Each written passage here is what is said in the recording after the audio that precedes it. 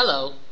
Uh, today we're going to do a first grade missing addend problem and we're going to check out Scoop in action.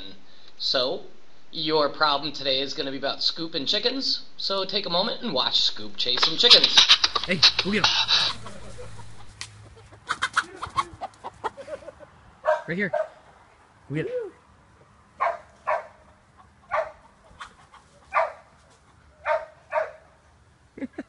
So our problem today is that Scoop chased seven chickens in the yard. If she chased three of them in the front yard, how many chickens did she chase in the backyard? So the first thing I want to do is I'm going to write a target sentence. And what is this question about? It's about chickens. So my answer is going to be about blank chickens. If I don't know how to spell chickens, I'm just going to look in my problem and copy the letters. Hmm. So I need to figure out how many chickens she chased in the backyard. Well, I'm going to start out by drawing 7, and I'm going to do that in a 10 frame. So I can draw a 10 frame really quickly by drawing a rectangle, cutting it in half, and then making 5 equal sections. So if Scoop chased 7 chickens, that means there was 7 chickens in my entire yard. Now it's important to decide what's the whole and what's the parts, right? In our number bond, a whole is made up of two parts. In this case, all the chickens in the yard are seven.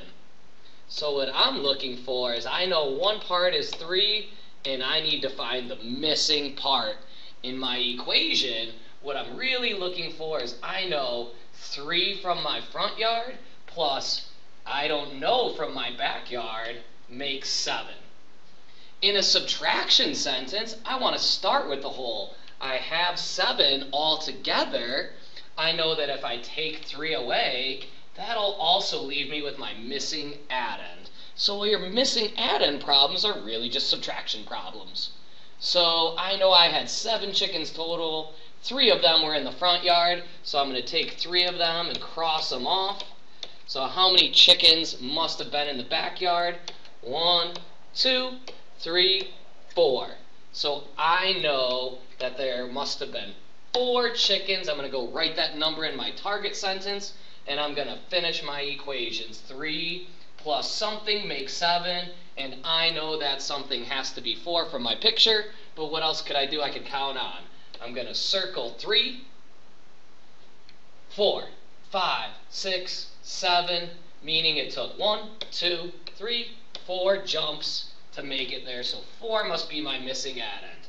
If I'm doing subtraction, I would start at 7, and I'm going to take 3 away. So I'm going to go back 3. 1, 2, 3. That tells me my subtraction answer must be 4. Let's check out some facts about chickens. Did you know chickens talk a lot, and those clucks mean something? They have over 30 different types of clucks that they can make. Sometimes it's about calling their kids um, and alerting about food or danger. And a really cool fact the chicken is the closest living relative to the Tyrannosaurus rex. Bet you didn't know that. Have a great day, first graders.